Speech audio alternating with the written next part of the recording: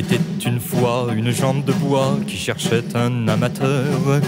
Elle se dit, ma foi, si personne ne veut de moi, je me fous une balle en plein cœur. Et voilà que soudain, elle entend au loin une sonnerie de clairon. Elle se dit, parfait, c'est le moment ou jamais de me trouver une situation. Arrivée sur le champ de bataille, au plus fort de la mitraille, elle croise un boulet de canon plein poumon.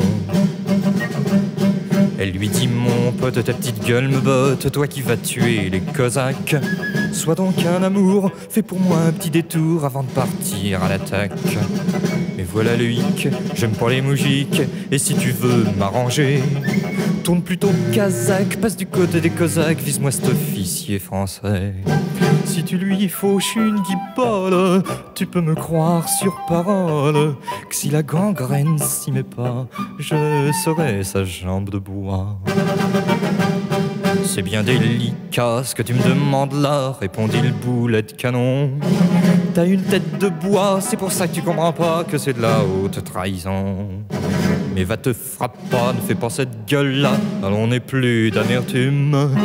Que ne ferait-on pas pour une jolie jambe de bois, je veux lui voler dans les plumes.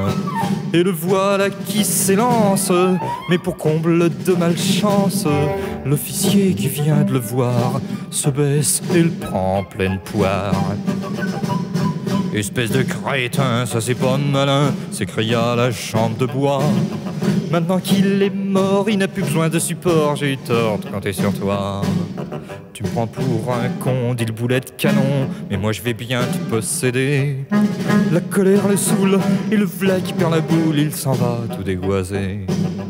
Ils passèrent en cour martiale, et pour sauver la morale, la petite fut condamnée à avoir le boulet aux pieds.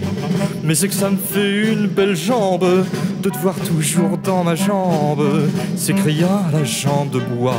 Pourvu que ça dure, je touche du bois.